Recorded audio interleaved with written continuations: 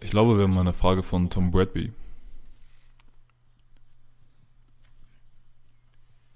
Mr. President, ich bin Tom Bradby von ITV News. Viele Menschen im Vereinigten Königreich haben den Eindruck, dass die Entschlossenheit, mit der ihr Land die Auslieferung des am Asperger-Syndrom leidenden Computerhackers Gary McKinnon fordert, überzogen und zu hart ist. Denken Sie nicht, dass es an der Zeit wäre, in diesem Fall Gnade walten zu lassen? Und der Premierminister, Sie haben sich auch sehr deutlich zu diesem Fall geäußert und nahegelegt, dass Herr McKinnon nicht ausgeliefert werden sollte. Der stellvertretende Premierminister hat das sogar noch deutlicher formuliert. Haben Sie das heute mit dem Präsidenten diskutiert und falls nicht, wäre es jetzt vielleicht eine gute Gelegenheit, um Ihre Ansichten zu diesem Fall mitzuteilen? Das ist etwas, das wir während unseres Treffens diskutiert haben.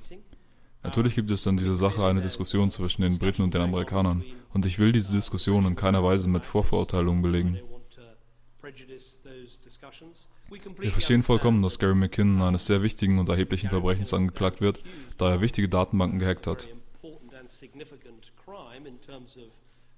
Niemand bestreitet, dass das ein erhebliches Verbrechen ist, das sollte man in Betracht ziehen.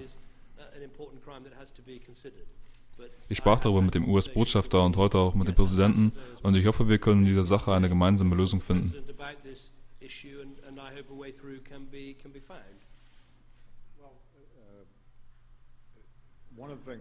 Eines der Themen, die David und ich diskutierten, war die wachsende Herausforderung bei der Internetsicherheit, mit der wir konfrontiert sind, als Konsequenz des Internets, weshalb wir da intensiv zusammenarbeiten müssen.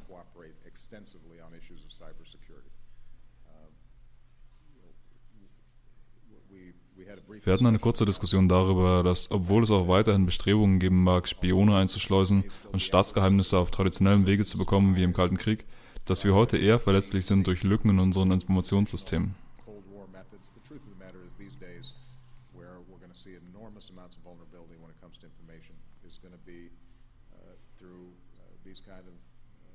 Breaches in, in our uh, uh, information systems. Wir nehmen das also sehr ernst. Und ich weiß, dass die britische Regierung das genauso sieht. Abgesehen davon gibt es eine Tradition bei uns, dass der Präsident sich nicht in Entscheidungen einmischt, bei denen es um Strafverfolgung oder Auslieferung geht.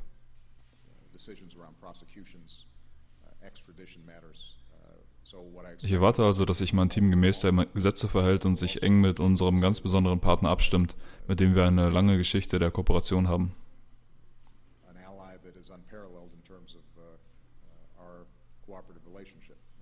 Ich vertraue darauf, dass das auf eine Weise gelöst wird, die der Wichtigkeit dieser Angelegenheit gerecht wird und bei der wir zusammenarbeiten, um eine gemeinsame Lösung zu finden. find a, an appropriate solution. All right. Thank you very much, everybody. Thank you very much.